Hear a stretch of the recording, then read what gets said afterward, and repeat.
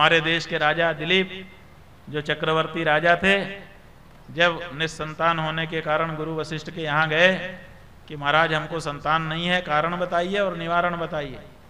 तो वशिष्ठ जी ने ध्यान करके बताया कि स्वर्ग लोक से आते समय जल्दबाजी के कारण तुमने कामधेनु की परिक्रमा नहीं की, इसीलिए कामधेनु ने तुमको निर्वंश होने का शाप दिया है।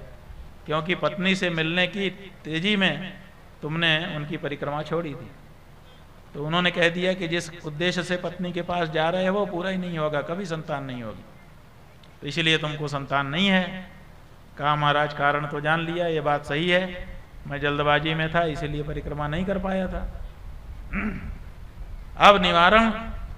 का निवारण यह है कि उसी कामधेनु की बेटी नंदिनी हमारे आश्रम में रहती है। वो भी कामधेनु के जैसे गुणों वाली है।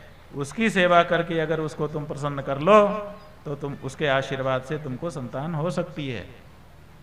तो राजा ने नंदिनी गौ की सेवा से करना स्वीकार किया। और कैसे करते थे? अत प्रजा नाम अधिप प्रभाते जाया प्रतिग्राहित गंधमाल्याम बनाय पीत प्रतिबद्ध वत्साम यशोधनो देनु मृषेर मुमोच। सवेरे जब बछड़े को दूध पिला दिया जाता था, गाय को थोड़ी सी घास खिला दी जाती थी। उसके बाद गाय और बछड़ों को छोड़ दिया जाता था। वो जंगल में जाके हरी हरी घास और बहुत सारी वनस्पतियाँ चरते थे, जिससे उनके दूध में औषधीय गुण आ जाते थे। तो वो गाय को चरने के लिए राजा दिलीप और सुदक्षिणा उनकी पत्नी जाते थे। गाय को खोल करके फिर उसके पीछे पीछे चलते थे।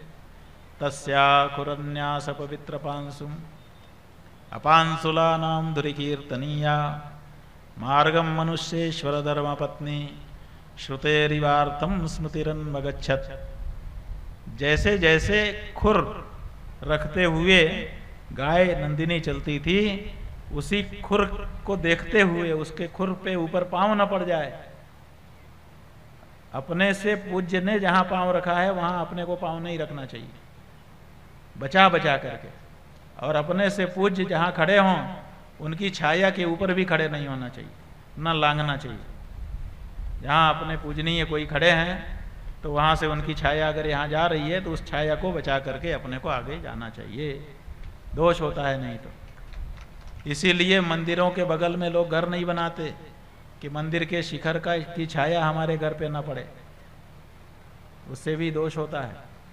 तो इसीलिए मंदिर जो है थोड़ा अलग बनाया जाता है, ताकि घर के ऊपर उसकी छाया ना जाए।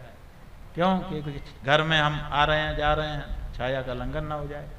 छाया पड़ने से दोष नहीं है, लेकिन हर समय छाया पड़ती रहेगी, किस दिन भर काम चलता रहता है, छत पर आना जाना लगा रहता है तो कोई ना कोई लांग देगा तो छाया के लांगने का दोष कहीं हमको ना लग जाए।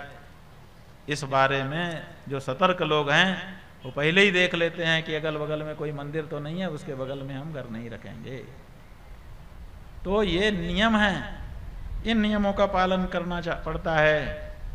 ध्यान रखते हुए आगे बढ़ना पड़ता है। तब जाकर के अपने को सफलता मिलती है।